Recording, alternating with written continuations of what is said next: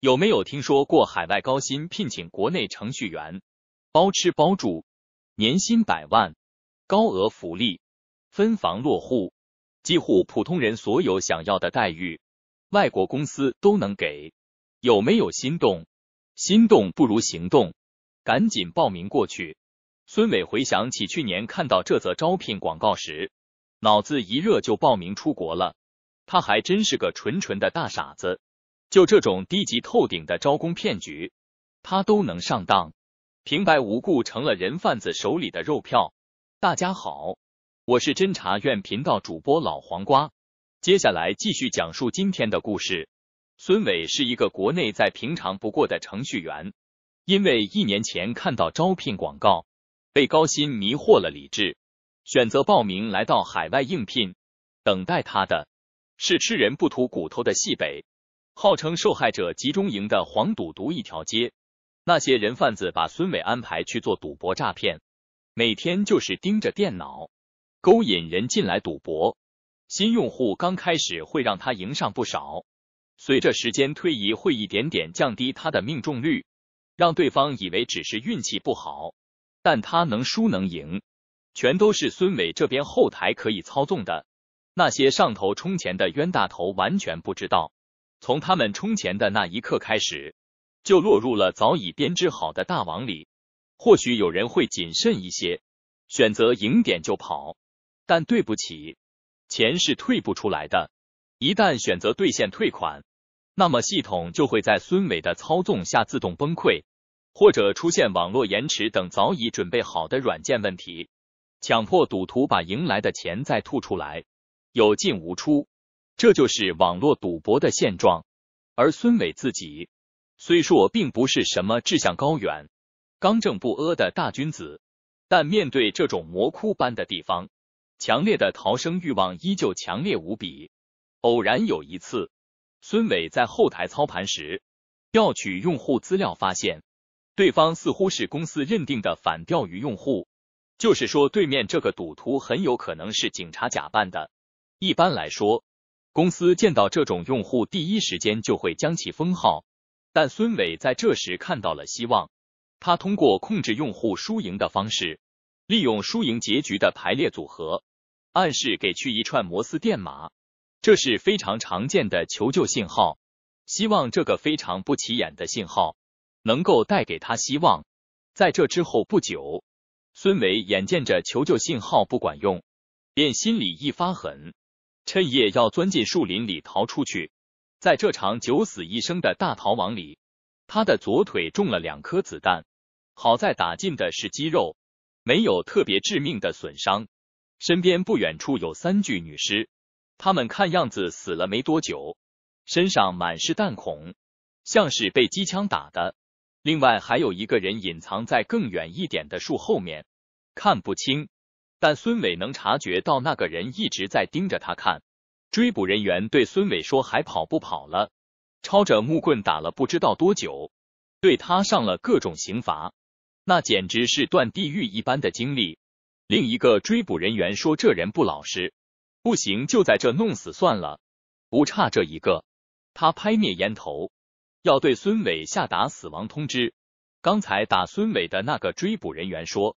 最近新弄来的肉票没多少，别轻易就废掉，看看这家伙还有没有什么特长，或者能变成钱的地方，物尽其用。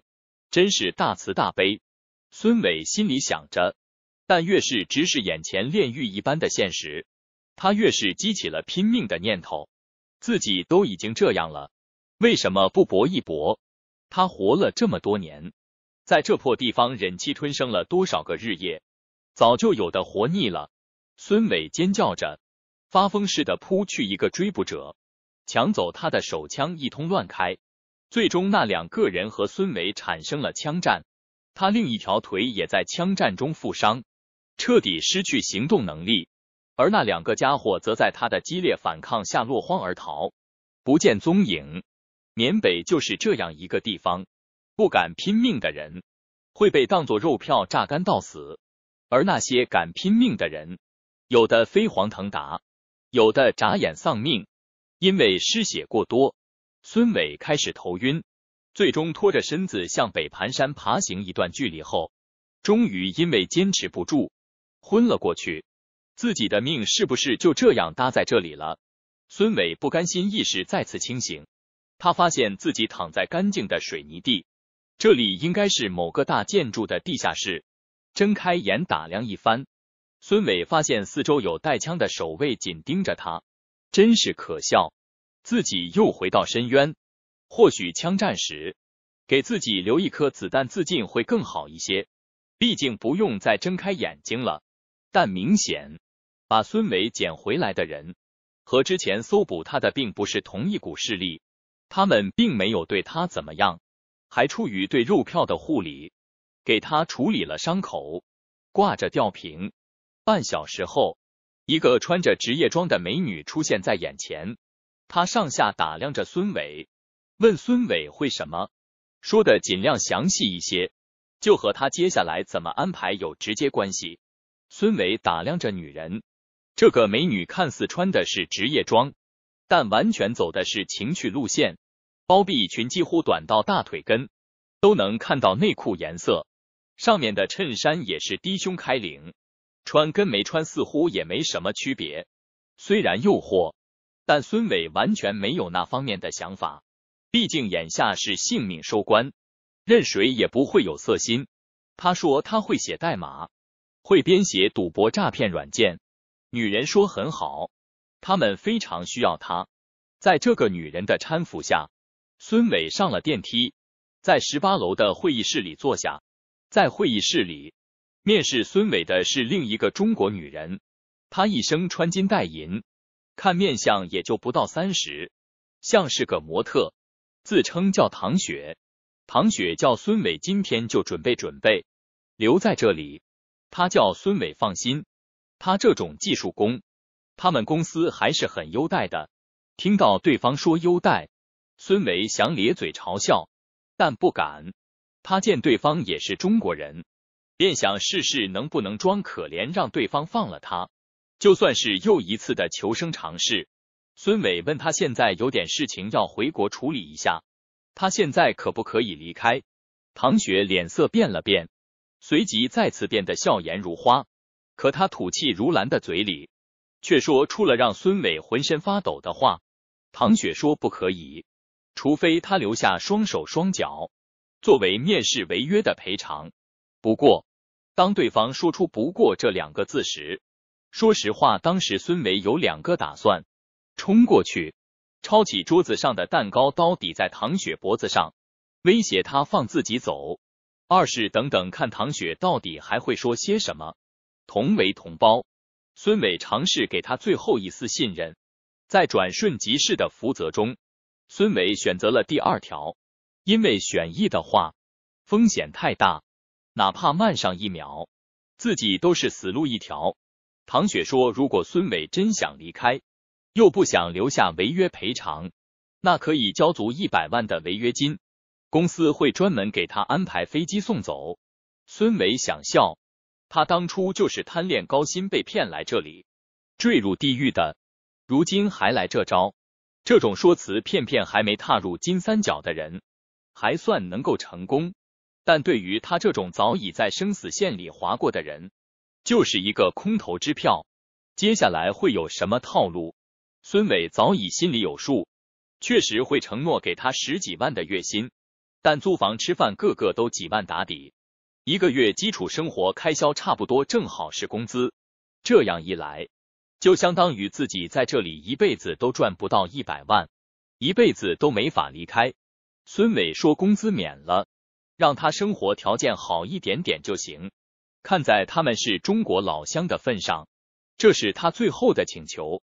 孙伟知道，在这里不论开多少工资，最终都会被内部强制消费回收的一毛不剩。那一百万的赎身费，给他一千年都凑不齐。孙伟说他会好好工作的，为了保住他这条命，孙伟认命一般说着，但这些只是为了博取对方信任，让唐雪稍微放松警惕，别等他下次策划逃跑时，唐雪早就把他盯上，导致计划流产。唐雪说看在都是老乡的份上，他会给孙伟安排一个好环境的。在唐雪的亲自带领下，孙伟被安排了住宿、餐馆的食堂。食堂没什么好说的，是一个小自助餐厅，看起来还有些上档次的样子。住宿拥挤的四人间，每人一张上下床。问题是宿舍并不分男女，是混住的。孙伟看到安排给他的房间里挂满了各种女士内衣，还有情趣道具、特色挂饰，整个屋子弥漫着不知道什么味道，很古怪。总的看下来，感觉好像还没那么差，毕竟比第一次待的那种地方好太多了。一个天上。一个地下，最终唐雪带孙伟回到了会议室。他慵懒的坐在真皮沙发上，有些贵妇的气质。他丢了一份合约过来，让孙伟签。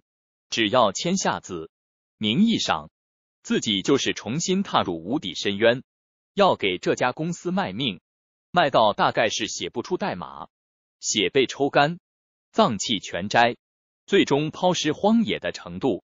没什么好犹豫的，这种合同说是由缅甸国家法律背书，其实就是一张废纸。孙伟也没看内容，直接签了字。况且他从来都没准备卖命到底，一旦抓住机会，那就要赶紧跑。唐雪看到签完字，立刻收走合同。从现在开始，孙伟如果按照合同上讲的话，已经把自己卖给唐雪背后这家公司了。既然已经安置妥当，孙伟也没继续跟唐雪攀谈老乡交情。那种女人是不会被他干巴巴的摇尾乞怜打动的。唐雪就目前在孙伟看来就是个红粉枯硬。唐雪叫孙伟回去安排好的住处休息好，养精蓄锐。正当孙伟在房间里换内衣时，吱嘎一声门开了，那个叫金娜的女孩走了进来。孙伟告诉金娜他在换衣服，但金娜似乎完全不在意。说来也对，在这种地方生活时间长了的女孩，没有任何羞耻感，并不是什么罕见的现象。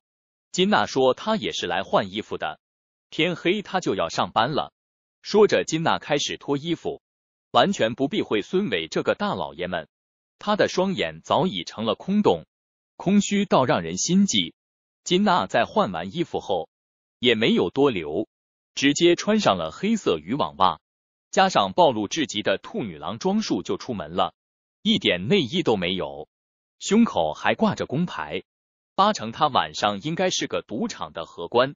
在金娜走后，第二个光顾这里的女人则是唐雪，她带了一袋茶包给孙伟，说是看在老乡的情分上送他的，让他省着点喝。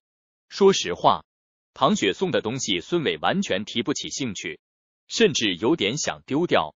唐雪叫孙伟晚上不要到处跑，谁带他都不要出去，外面的人全是带枪的，如果他乱动导致没命的话，自己救不了他。唐雪用了这么句温馨提示，孙伟躺在床上，双眼无神看着天花板，不知道这里距离边境近不近。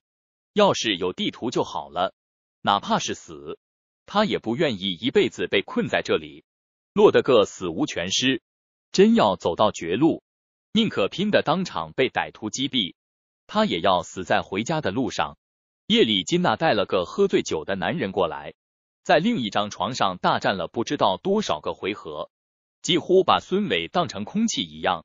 这估计是金娜的生财之道，估计也不用避讳他。毕竟在这种地方，谁又会在乎谁？等他们完事之后，金娜一边用卫生纸擦着身体，一边捅了捅孙伟，说想和他谈谈心。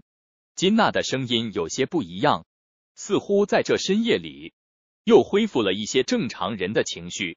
孙伟跟金娜谈了好久，发现金娜是中西交界那地方的一个普通女孩，当初也是因为打工。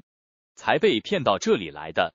金娜说：“被人玩弄也好，她现在做黄色直播也好，当荷官也好，只要能弄到钱离开这里，她可以不择手段。”金娜的声音颤抖着，她的求生欲让孙伟有了不小的共鸣。自己何尝不想离开这里？金娜提议他们一起逃出去。既然攒钱赎身遥遥无期，还不如赌一把。这个提议，孙伟倒确实很是赞同。只不过，怎么逃？在金娜的讲述下，公司每个月一号发工资，那天也是食宿费用扣除的日子，手里钱不够扣的，需要找主管打欠条。那天会有主管们的聚会，举办一场盛大的无火晚会，让所有人开心放松一下。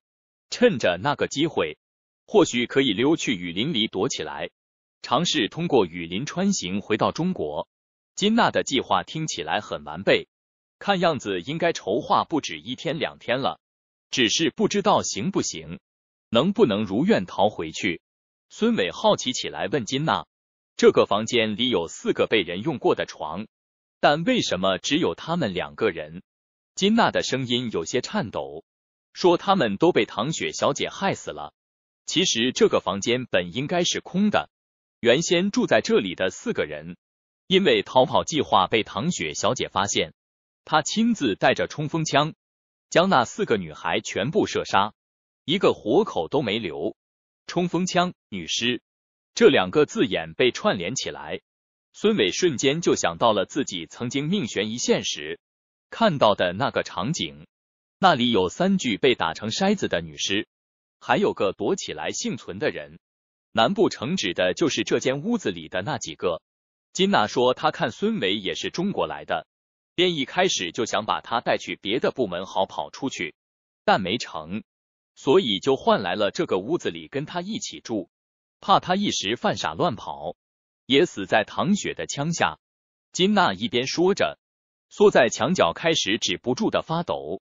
看着怪可怜的，他叫孙伟放心，唐雪小姐对于老老实实给他工作的人都不会那么残忍，所以目前孙伟是安全的。金娜这时还给那个女魔头打圆场，安全什么，在这老老实实上班一样是客死他乡的下场，眼下也没别的办法了，想要跑就只能等发工资那天，在这之前还是老老实实上班。金娜这个女人，不得不说，深夜正常谈心时确实是个楚楚可怜的少女。可但天亮就换了个人，尽一切时间、一切可能，用身体来换取金钱，赚赎身费。孙伟不知道他的赎身费是多少，总之看他在出卖肉体上这么努力的样子，估计不会便宜。八成金娜也是在弄两手准备，能跑就跑。不能跑就出卖身体多捞点钱，他的这个女人也不是一个善茬。孙伟心里想着。临近月底，唐雪再次将孙伟叫去办公室里，他在给一把黑洞洞的手枪擦灰，很仔细的样子。唐雪说坐，他一声令下，孙伟找了个偏远的位置坐下。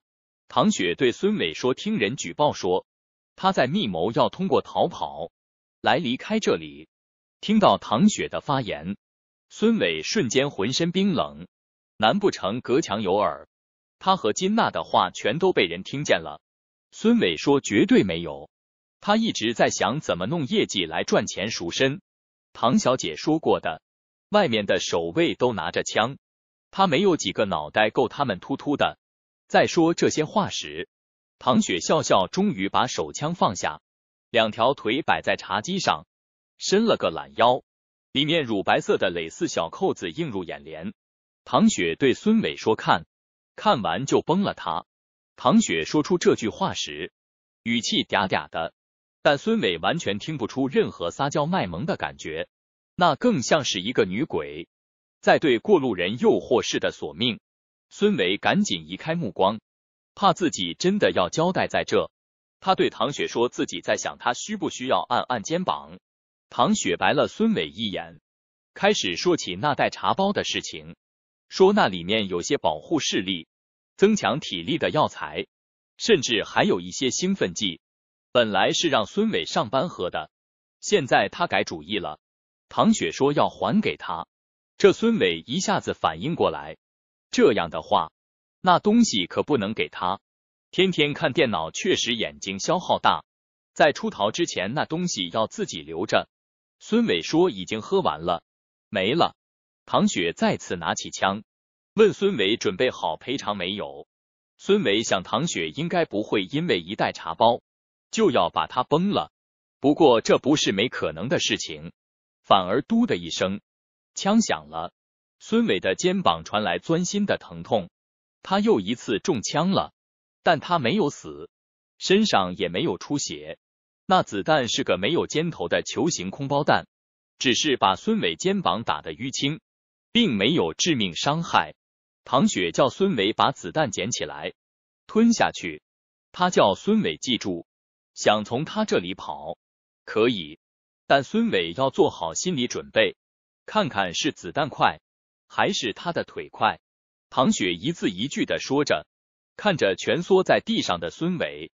从剧痛中缓过来后，孙伟拿着弹珠打量着，一度想丢掉，但回想起唐雪的死亡威胁，最终还是选择吃了下去。唐雪这个做法在西北是有说法的，叫完刑，一般是为了教训不听话的肉票。歹徒全都是用钢珠弹打到受害者躯干里，强迫受害者自己用手把弹丸输出来吞下去。孙伟曾经不幸看到过一次，那是自己邻座个中国老乡的遭遇。他后来因为破伤风死掉了。唐雪刚才的做法，从一定程度上说，确实有那么一丝人性。毕竟没让孙伟皮开肉绽。孙伟想过两天就是发工资，要举行庆典的时间了，那时他能不能跑出去？唐雪突然问孙伟有没有人告诉过他。在他之前，那间屋子里住着四个人是什么下场？孙伟知道，因为金娜说过，他也经历过，但他还是摇头装傻。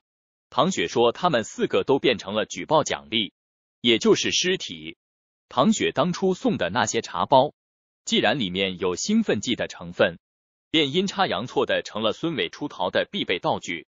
毕竟雨林那么大，追兵肯定也不少。体力跟不上的话，就是一个死。服用兴奋剂来维持身体行动能力，绝对是一个不错的办法。唐雪可能根本想不到，无意中竟然给孙伟送来了逃生道具，真是败笔。幸好自己撒谎给扣下了。在接下来的这几天里，孙伟每天夜里都在跟金娜探讨如何实施逃跑行动方案。金娜甚至拿出了一份这里的手绘地图。和指南针来规划路线，看来他也蓄谋已久。金娜说：“那约好了，三天后晚会开始时，他们就行动了。计划已经弄得七七八八。今晚孙伟睡了个安稳觉，在庆典开始之前，他偶然一次因为业务需求要去业务部一趟对接。在业务部，孙伟有一次不幸见到了自己曾经身处的炼狱一般的光景。”业务部是个毫不包装的人间炼狱，在业务部里，每个业务员都在疯狂的打电话，在诈骗。那些初来乍到不愿意骗钱的，还有骗不到钱的，会被主管各种私刑处置，比如喝黄汤、对着下体鞭刑、殴打，甚至把头按进水缸里面弄个半死。反正各种惨无人道的手段，都是业务部的家常便饭。那里的每一个人听说一天的业绩标准都是五十万，骗不到五十万就要受罚，被刑法弄死了或者自杀了，就会被带枪的卫兵拉出去，随便找个树下挖坑来吊。这跟技术部比起来，完全是一个天上一个地下，业务部才是缅北，才是金三角的真面目。终于到了发工资团建的日子了。今天在公司大楼不远处举行了个舞火晚会，公司还请了十几个艳舞女郎助兴。他们一个个光溜溜的站在人群前扭着身子，一些把持不住的男主管直接冲上去脱裤子，大庭广众之下就弄了起来。这场晚会更像是个被粉饰的地狱集会，各种各样的魔鬼尽情发泄着欲望，丑陋无比。会场进行到高潮时。已经变成几个男主管在公开比拼持久力的表演赛，众人吹着口哨加油助威，附近带枪的守卫也开始凑过来，抓着落单的女郎加入比赛。而此时，金娜戳了戳孙伟，表示已经时机成熟。在所有人未曾察觉的情况下，孙伟渐渐淡出人群，转身逃进了身后的树林中。跑了大约有半个小时，他发觉有些不对劲，因为自己全力跑了这么久，应该已经很远了，但依旧能听见算和晚会的欢呼声。孙伟停了下来，准备让金娜拿出指南针，校对一下路线，但他怎么也不肯拿出来。甚至还咧嘴笑了起来，笑得孙伟有些发毛。他问金娜笑什么？孙伟一时间觉得事情有些不对劲。金娜不对劲。金娜说了一句：“傻瓜，知不知道举报一个逃跑的人奖励多少钱？”孙伟瞪大了眼睛，不可置信的瞪着金娜，说不出话来。金娜嘻嘻笑着，像是个笑面鬼。一个数字从他的口中说出，两百万。随即他拿出了一把尖刀，握在手里。这一瞬间，孙伟有些明白了，明白为什么只有三十题，但现在就逃出去就好了。金娜为什么还要贪恋的子虚乌有的举报奖励？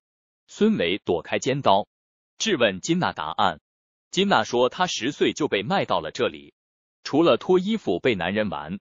什么都不会，赎身的钱她早就攒够了，但还不够，她想攒更多的钱再离开这里，彻底自由。而孙伟这两百万是他赎身前的最后一笔。金娜这个女人已经彻底疯了，她处心积虑一个多月，根本不是想和孙伟一起出去，而是要把孙伟这条命变成他的钱。金娜说，孙伟应该感恩他，是他把孙伟拖回来的。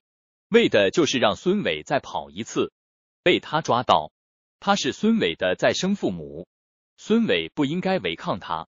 金娜竟然还十分义正言辞的说出这种歪理，他当初救孙伟，本质就是为了杀他，这本就是利用，谈什么拯救？金娜说她把孙伟逃跑的念头举报给唐雪，唐雪竟然没向上面举报，孙伟也什么事情都没有。既然从唐雪那拿不到奖励，就只有他亲自动手了。金娜说着，尖刀已经刺了过来。孙伟拼命闪躲，幸运的是他消耗了不少的体力，孙伟堪堪避过。但紧接着，金娜开始大声尖叫起来，要呼叫卫兵过来。情急之下，孙伟一把括住他的嘴，抢过尖刀丢在地上。金娜说：“他的钱。”他依旧在口口声声的把孙伟当成钞票喊着，孙伟用力猛地一甩，将金娜的头撞在旁边的树上，他满头是血晕了过去。孙伟拾起尖刀和地图，指南针开始朝着北方不断穿行，这期间也服下了那些茶包，来强制维持体力。不得不说，这里面的兴奋剂剂量够多的，跑了三四个小时。还感觉不到脱力，可事情并没有自己想象的那么简单。金娜的地图是假的，地形根本不对。眼下四周已经出现了卫兵交流的声音，还有脚步声，他们都是被金娜的尖叫声吸引来的。自己终究是跑不掉了。正当孙伟坐在地上准备等死时，肚子里发出奇怪的声音，说朝西走。路过一个山谷之后。会看到一条小溪，顺着小溪一直往前去，别回头。这个声音很熟悉，而且是从孙伟的肚子里面发出来的。他惊呼一声：“唐雪！”原来自己吞下子弹还有茶包，竟然都是唐雪的暗中布置。孙伟赶紧站起来，按照唐雪的指示继续前进。估计他肚子里的那个弹丸集成了定位装置和发生器。但唐雪明显没法给出太多帮助，在说出那句话之后，就再也没有过提示。孙伟顺着他说的方向跑了有半个多小时，终于见到了小溪，并开始顺着小溪一路前行。不知道又跑了多久，所幸那些卫兵并没能及时将孙伟包围。在天亮时分，他整个人有些恍恍惚惚，人也站不稳，但终于看到了希望。活下来的希望，因为出现在眼前的是边境哨所，只要越过哨所就回家了。孙伟对哨所的人喊：“别开枪，他是中国人，他是从金三角逃回来的。”边境同志们警惕打量着，最终在经过重重审核下，给了他一个暂时的休息地点。孙伟狠狠的睡了一觉，因为体力透支太严重，睡了两天才醒过来。忽然间，他意识到了什么，那个弹丸除了只是他逃出去这件事，说不定还有其他的功能。孙伟在说明情况之后，边境医生将他体内的弹丸取了出来，切开发现里面多了张微型存储卡。边境同志说，事情到了这一步，他们很感谢孙伟能从魔窟里面逃出升天。唐雪的事情，他们已经清楚是怎么回事了，接下来他们会安排送他回家，剩下的事情就交给接手这件事的人。孙伟想问些什么，却没敢开口。毕竟这已经不是自己能接触的领域。经过一个月的波折后，孙伟回到家，这次比较幸运，找到了一份工资更高的工作，生活也重新回归正常，没有了那些富贵险中求的赌性。一天晚上打开电视时，看到正在播送新闻，新闻内容是：本周我国边境发生了数起特大人口拐卖诈骗案件。所有受害人员均被囚禁在缅北与国内边境交界地带。如今经过多方协助，大多数人员均已获救。孙伟怔怔看着新闻，心里想着这件事应该就是在说他经历的那个。经受害者统一反馈，他们都是被国外高薪工作所吸引，最终落入不法分子圈套。在这场特大人口贩卖案件中。吹哨人吴小莲同志因为深入大本营不慎暴露，因公殉职。我方媒体全体人员对吴小莲同志的牺牲表示默哀。孙伟看着新闻上刊登的一张打了马赛克的照片，虽然模糊，但依旧能分辨出那就是唐雪。原来如此，恐怕唐雪之所以被发现，是因为那时要救孙伟出去，要让他把肚子里的存储卡资料送出去。才暴露的。半年后，孙伟站在一座烈士陵墓前，献上了一大捧鲜花，放在了吴小莲墓前。他泣不成声，他这条命是吴小莲给的。忽然间，孙伟发现，在墓碑附近有一张被石头压起来的纸，便摊开来看看。输赢赢赢输输，这是一串输赢两个字组成的意义不明的一段话，但他能读懂。因为这就是当初他在赌博网站时给电脑对面的可疑用户发送的求救信。好了，本期故事到此结束。我是主播老黄瓜。如果你有什么想和我们说的，请在视频下面留言告诉我们吧。